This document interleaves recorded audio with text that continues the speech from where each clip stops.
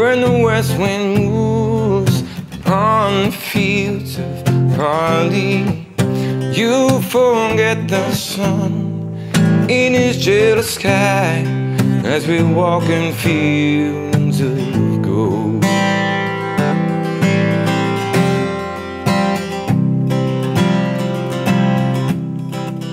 So she took her love, for to gaze a while the fields of barley. In his arms she fell as the air came down among the fields of gold. Will you stay with me? Will you be my love among fields of barley? We'll forget the sun in its jealous sky as we lie in fields of gold.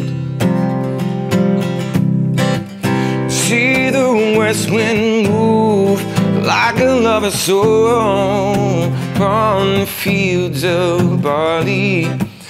Feel her body rise when you kiss her mouth among fields of gold.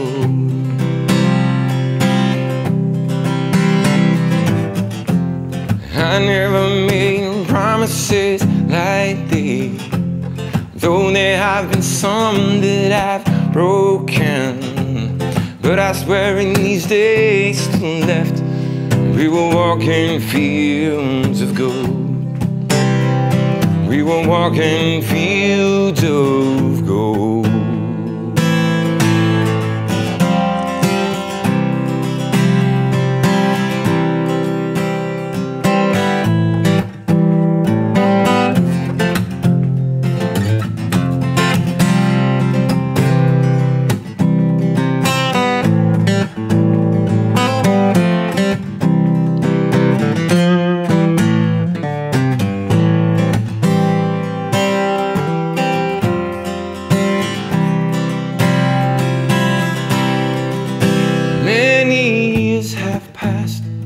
Since those summer days among fields of barley.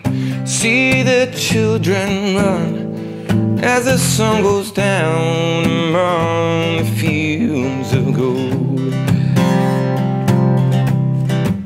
You remember me when the west wind moves upon fields of barley.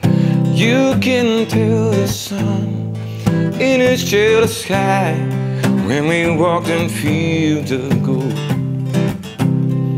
When we walked in fields of gold. When we walked in fields of gold.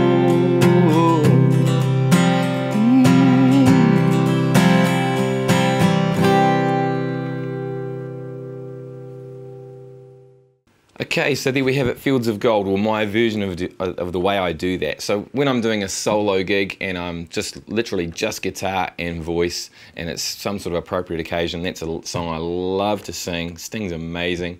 Um, it's a very simple song, but I've just added a few nuances. And so what I'm going to be doing through the channel here is making sure that you've got um, not just a basic version of how to do this song, like the basic A minor, the basic C, and all that sort of stuff.